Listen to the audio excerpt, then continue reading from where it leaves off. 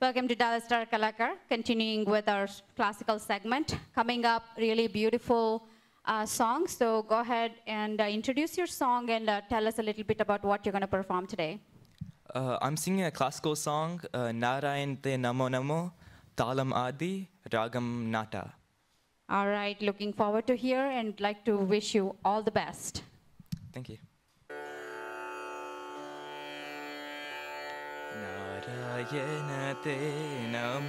Namo, Narayana Te Namo Namo Baba, Naruda Sannuta Namo Namo, Narayana Te Namo Namo Baba, Naruda Sannuta Namo Namo, Narayana Te Namo Namo, Namo Namo Namo Namo.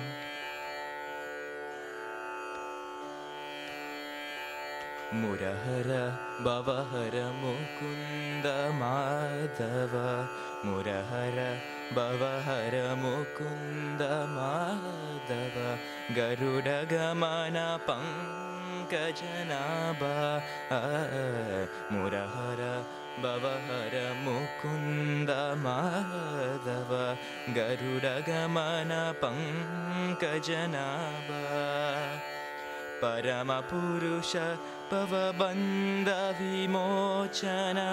परमपुरुष भवबन्धविमोचन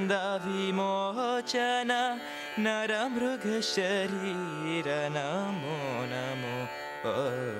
Narayana ते नमो नमो भव नारुद सन्नुत नमो नमो नारायण ते नमो नमो नमो नमो नमो नमो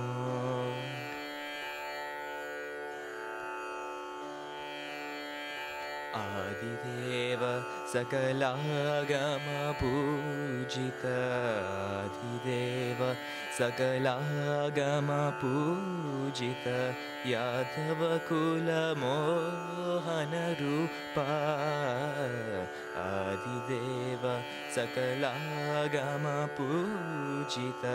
यादवकुलमोहनरूपा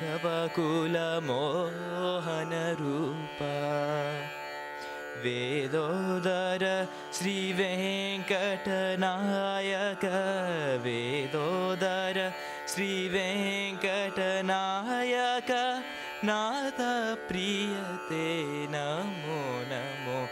ओ नारायण ते नमो नमो भव। Narada सन्नुत Namo Namo.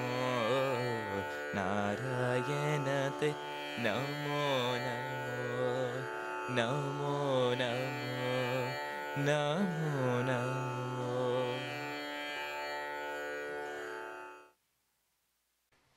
Thank you so much for the awesome performance. I think it's time for us to ask for a vote. Give them your registration number and go ahead. Uh, I hope you liked my performance. Uh, if you want me to be the next Dallas Star Kalakar, vote for me at 10710. Yeah, this time 10710. It worked. So definitely like to wish you all the best and looking forward to it. Thank you.